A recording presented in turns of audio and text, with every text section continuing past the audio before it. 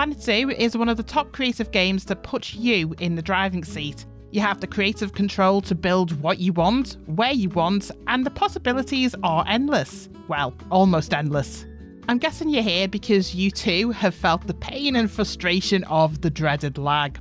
You're beavering away, building and running your dream zoo, when all of a sudden everything is jittery, stuttering, maybe even freezing for periods of time. With an open world build game like Planet Zoo, it's inevitable that the bigger, more complex your zoo gets, Eventually, you will hit the limit of what the game can process, and with that comes the lag, the freezes, and the stuttering. When you hit that limit really depends on the system you're running. More powerful PCs with top end graphics cards will obviously perform better than ones running with the recommended minimum specifications, but even beefy gaming setups will eventually run into problems the bigger the zoos get. If you're running into lag problems, first and foremost, I'd advise to check your PC settings and graphics drivers updates and whatnot just to make sure you've optimized play outside of the game first. I'm not going to get into the details of this here because the information I give you here will probably quickly go out of date as drivers are updated all the time. What I would recommend is checking out the Planet Zoo advice page on this to make sure everything is tip top before you even get into the game. I'll pin a link to that page in the video description. If you follow the advice there, you may find that the lag problem clears up without having to take any further steps. That being said, if you've already optimized all the hardware stuff, there are also some in game tweaks that you can implement to delay the dreaded lag too. So, here's my top 6 reasons why your game might be lagging and what you can do to fix it. Number 1, I would suggest changing some of the graphics settings. This is an obvious one, but worth considering regardless. In the Settings tab under Graphics, this is where the graphics settings live that affect how your game looks. Most of these have options ranging from off and low to high and very high. For me personally, lots of these settings don't even look that different when you set them to low or off. Reducing some of these settings down could make a big difference in your game performance. One setting that I turn off completely is shadows. Yes, the game does look beautiful with shadows, but turning this off completely, you do still get dark and light areas, and after a while, I don't even notice the lack of shadows anymore.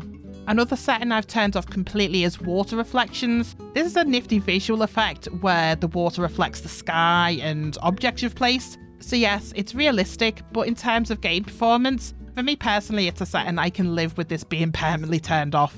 Of course, your mileage may vary, but I would suggest giving each of these settings in the graphics tab a go at the lower values and see if any offer a compromise that you can live with. My second tip is about limiting guests and staff. The number of guests your game is having to process will absolutely affect performance. The more guests in your zoo, the more functions it will be processing in the background. Every guest or group of guests, the game is processing where they're going, what they're doing, what they're thinking all of the time. I believe Planet Zoo tops out at 10,000 guests, and there's a reason for that. When you have a small zoo with 100 or so visitors, that's not really an issue. It's when you're getting into a couple of thousand or more. You may notice things slowing down as the game figures out what each of those thousands of visitors are doing. So, how do you control how many guests are visiting? You can artificially limit this in the settings tab. Of course, the more guests you have, the better your game will be in terms of profitability and stuff, so it's worth doing an investigation with this, figure out how many guests your game can actually handle, and try and stick to that limit. Like I mentioned, the biggest problem with this is when you're working in challenge or franchise mode. Even in this situation, you can limit the number of guests and still be profitable if you put in a little effort to optimize the gameplay to make the most out of the guests you already have, rather than relying on ticket sales. The happier the guests are, the more likely they are to part with their cash. For example, have you thought about guest pathing around the zoo?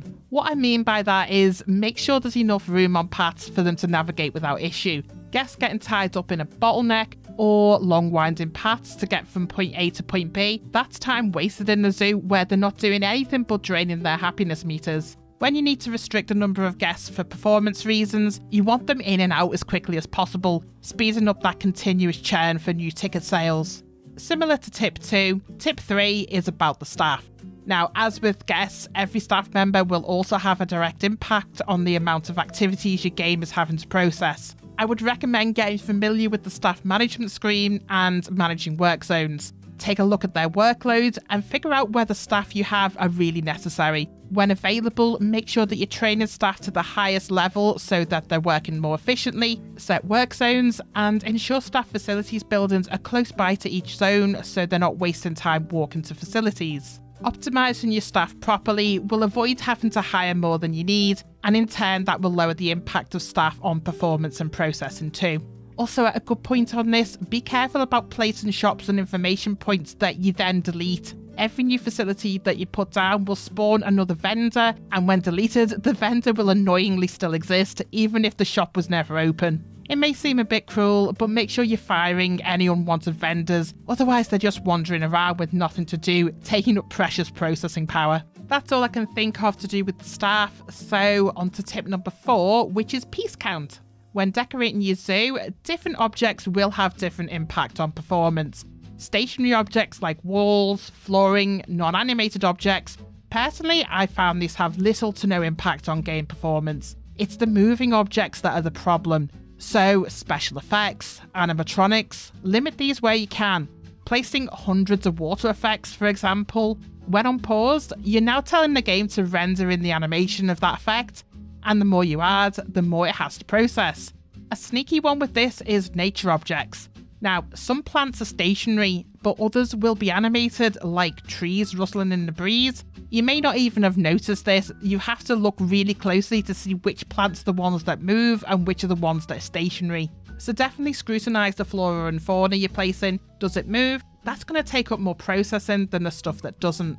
Another item to watch out for is guest facilities like barriers and curbs. Guests will be interacting with these objects where it's giving them a signal not to walk there. So everyone that you place down will take some processing, and the more you use, that will build up eventually. Things like bins and benches, if it's not being used, get rid of it. With media devices and custom content, interactive screens like videos are going to take up more processing than, say, a sign or audio media. I'll admit I haven't done major research into this, but it's just something to consider if you are struggling and you've done everything else. Give switching out some of the video media with a static one and see if that makes a difference. Tip number five for what could be causing lag is habitat climbable and interactive pieces. Another process hungry piece in Planet Zoo is the climbable objects and interactive pieces placed in habitats so enrichment items. Although enrichment items are necessary to enrich your animal's environment, they will trigger animations every time they're used, which in turn is creating an activity that the game has to process, so make sure you're not overdoing them.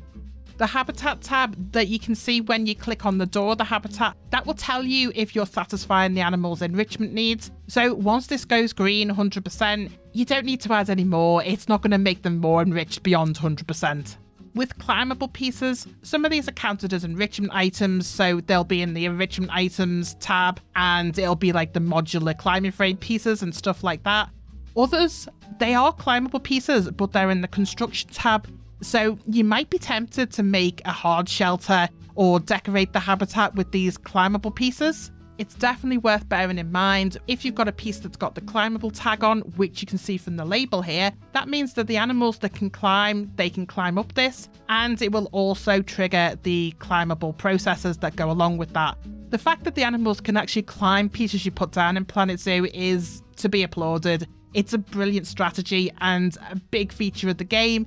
Just don't overdo it because you're going to overload the processing with too many climbable pieces. Number six reason why you might be experiencing lag in the game is the number of animals you have on the go at any one time. Just like with guests and staff, the more animals you have, the more it's going to affect the performance. Of course, managing animals is supposed to be the whole point of the game, but there is a few ways you can do this which will also reduce the lag. My first suggestion would be to stick to a limit on the number of habitats you're running at any given time. Realistically, your guests aren't going to have time to visit more than, say, 20 habitats, so, at any given time, more than 20 habitats is going to be a drain on performance with no real benefit. I will stress, this doesn't mean you have to limit your game to only 20 habitats per zoo, but what you could do is rotate the animals in use for variety. The Trade Centre has storage space for 200 animals, which I think is quite generous. So use this as part of your gameplay strategy. I would rotate animals frequently between those being exhibited and those in storage. So one week you might have a lemur habitat active, Next week, the lemurs are in storage and you have a lion habitat active instead. Guests love it when new animals are introduced to the zoo. and they'll flock to a new habitat in droves, so make use of that by switching them out every so often. Another way to manage lag from too many animals is by limiting the number of animals in each habitat. Some animals, like say the pangolin, they live in small groups of two to three. Others, like the flamingos, they can live in huge groups quite happily with 500 of them all together. Just because they can live with that many in harmony doesn't mean they have to if you are having issues with lag, I would definitely suggest aiming for the minimum, not the maximum. It's easy to see how many they need. If you go into the species data tab, that will tell you how many are needed for social happiness. Something else to watch out for with this is how many offspring they have in per pregnancy. Some animals will only have one or two per pregnancy, others, like the tortoises, can have up to eight offspring in one go. If you're not watching closely, you can end up with a situation way out of control, way too many animals in one go. The babies will take up loads of processing just like the adults do, so be careful with that, and I would suggest only having one breeding pair per species on the go at once. Put all the rest of them on birth control, just save yourself the hassle later on. That's my top suggestions on what might be causing your game to lag and how to fix it. I hope this has been helpful. If you have any other suggestions, leave a comment and I'll be sure to compile a complete list based off of others' experiences. Thanks for watching, bye for now.